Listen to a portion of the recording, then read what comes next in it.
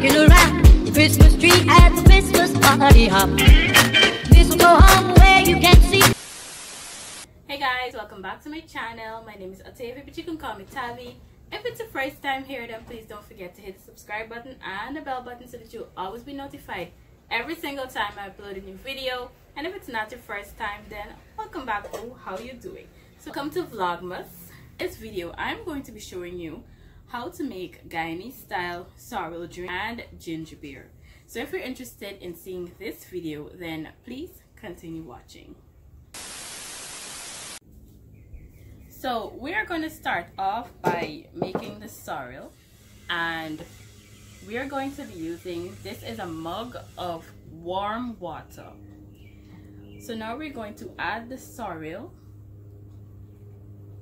into the water to draw.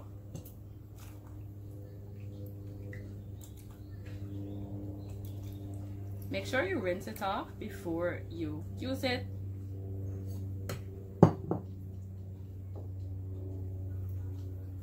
And we're going to be adding some spice and cloves.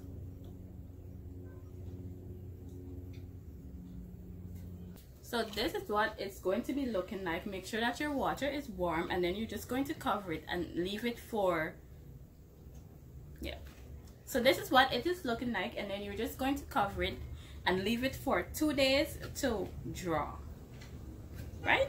So now we're just to put that away and we're to get started on the ginger beer. Now to make the ginger beer, you're going to need, I have here a pound of ginger. I chopped it up finely and about a tablespoon of rice. What I'm going to do is blend the ginger. So this is my blender cup and I'm just going to just put it to.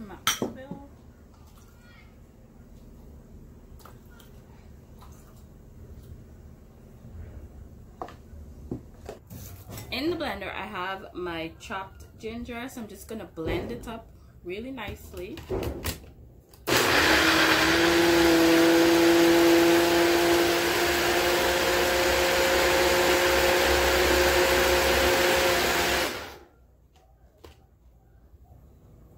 Look, Granny.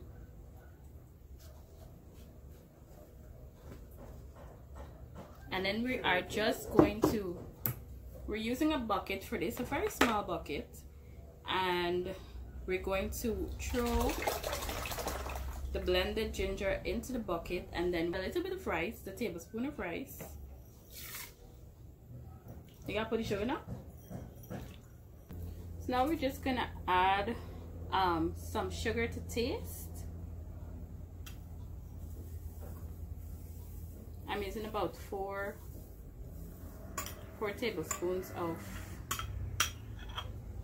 sugar in this amount because this is actually a pretty big bucket and I'm just going to stir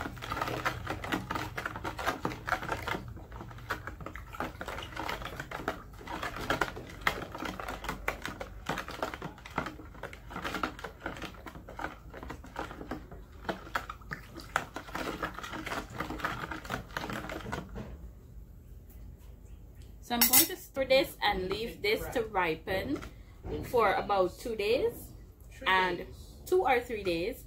And I'm also going to put this in the sun because the sun really helps it to mature faster. So um yeah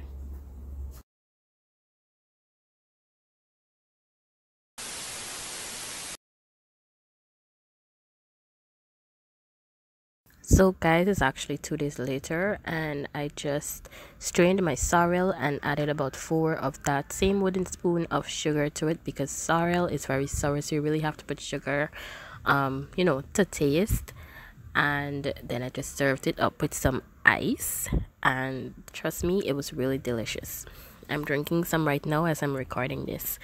But um yeah it's it's really good so you guys can try it out at christmas and the ginger beer. Um, i did add some more sugar just strained it and served it up with some ice also. And yeah guys i really hope you enjoyed this video. Don't forget to like comment share and subscribe and i'll catch you in the next one. Bye guys